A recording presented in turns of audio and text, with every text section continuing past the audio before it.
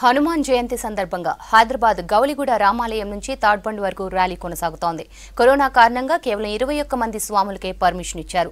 దీంతో తాడ్బండ్ ఆలయానికి కారులో వెళ్తున్నారు స్వాములు. ర్యాలీకి పర్మిషన్ ఇవ్వకుండా ప్రభుత్వం హిందువుల పట్ల కక్షపూరితంగా వ్యవహరిస్తుందని బజరంగ్ దళ్ కార్యకర్తలు ఆరోపించారు. బహిరంగ సభలు ఇతర మతస్థుల పండుగలకు అనుమతి ఇచ్చి హనుమాన్ ర్యాలీకి ఎందుకు పర్మిషన్ ఇవ్వరని ఆగ్రహం వ్యక్తం చేశారు. మరిన్ని డీటెయిల్స్ గౌలిగూడ నుంచి కావ్య అందిస్తారు. పూరా సీతారామస్వామి ఆలయం దగ్గర నుంచి మరీ కాసేపట్లో మాల విరమించే స్వాములందరూ కూడా ఇక్కడ నుంచి బయలుదేరనున్నారు. ప్రజెంట్ మనతోటి సుభాష్ అని ఉన్నాడు ఒకసారి మాట్లాడదాం. సో ప్రతి ఏడాది హనుమాన్ జయంతి అన్నా లేదంటే ఇట్లాంటి విజయోత్సవ ర్యాలీ అన్నా బజరంగ దళ్ కార్యకర్తలు ఒక పదిహేను రోజులు నెల రోజుల నుంచి ముందు దానికి ప్లానింగ్ వేస్తూ ఉంటారు.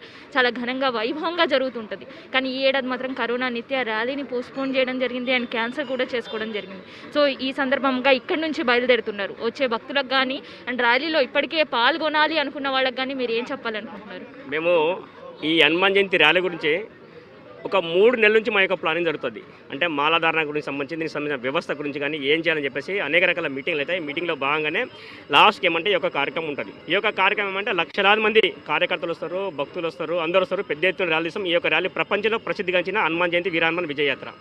కానీ ఈ యొక్క తెలంగాణ ప్రభుత్వం ఇక ఉన్న మేము ఏ సిపి గారికి మేము ఆల్రెడీ ఏమంటే పర్మిషన్ గురించి లెటర్ పెట్టాం. వారు క్యాన్సిల్ ఇస్తారు ఇక్కడ ఏసీబీ గారు ఏమంటే వారు నాకు నోటీస్ ఇచ్చారు. రెండు నోటీస్ ఇచ్చారు నాకు అధికారులు. పిలిపించి నాకు నోటీస్ ఇచ్చారు. వీళ్ళ నోటీసులు ఏమంటే మా అధికారులందరూ డిస్కస్ చేసి మేము కోర్టుకు వెళ్ళాం. కోర్టు మా యొక్క మనోభావాలను గౌరవిస్తామంటే మీరు ర్యాలీ చేసుకోండి. ఇరవై ఒక్క మంది స్వామితో అని చెప్పింది మేము కోర్టు గౌరవిస్తున్నాం. కానీ ఈ యొక్క ఇప్పుడు ఈ ఉన్న యంత్రాంగం కావచ్చు ఇక్కడ ఉన్న ప్రభుత్వం కావచ్చు పనికి మాలిన ప్రభుత్వం పలికి మాలిన యంత్రాంగం ఇది. హిందువుల పైన కక్ష సాధిస్తున్న ఈ యొక్క యంత్రాంగం మొత్తం.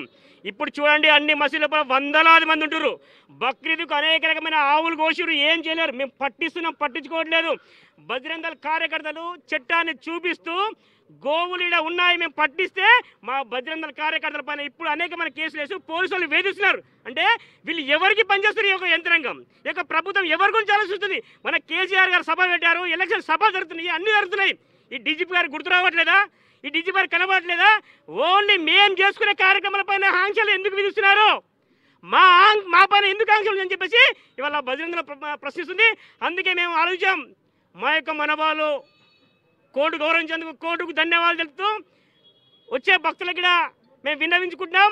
ఈ యొక్క ర్యాలీ నిర్వహించడం లేదు. ఓన్లీ మేము మాలాధారణ కార్యకర్తలమైనందుకు తాడుబని మందిరం వరకు వెళ్ళేసి స్వామీజీ యొక్క ఆశీర్వాదం తీసుకుంటాం.